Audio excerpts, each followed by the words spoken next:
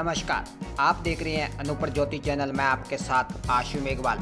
सूरतगढ़ में राजस्थानी भाषा प्रेमियों ने किया साहित्यकारों का भव्य स्वागत। एन एस डी के राष्ट्रीय उपाध्यक्ष।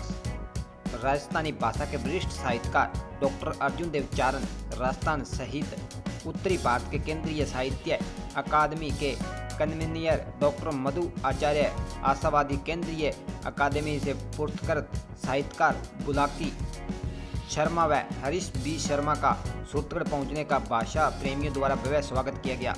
इस मौके पर डॉक्टर अर्जुन देव चारण, वरिष्ठ रंगकर्मी आलोकन, आलोचक, उपाध्यक्ष एनएसडी ने कहा कि हमारे राजस्थान में ऐसा एक भी सांसद नहीं है जो प्रधानमंत्री नरेंद्र मोदी के सामने यह कह सके कि हमारी मातृभाषा राजस्थानी को मान्यता दी जाए।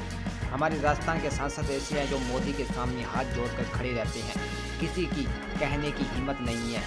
यह बात आज सूत्रगढ़ पधारने पर मीडिया से रूबरू में डॉक्टर अर्जुन देवचार ने कही। सूत्रगढ़ पधारने पर राजस्थानी भाषा प्रेमियों ने भव्य स्वागत किया। स्वागत करने वालों में वरिष्ठ साहित्यकार मनोज कुमार स्वामी, महावीर भोजक, विविधा अध्यक्ष योगेश स्वामी, अखिल भारतीय ब्रह्मा सभा के कन्हैयालाल पारिक व्याख्या राजेंद्र छिंपा भाजपा नेता मुरलीधर पारिक एवं अन्य को माल्यार्पण कर शोल उड़ाकर सूत्रगढ़ की ओर से स्मृति प्रतीक प्रदान किए।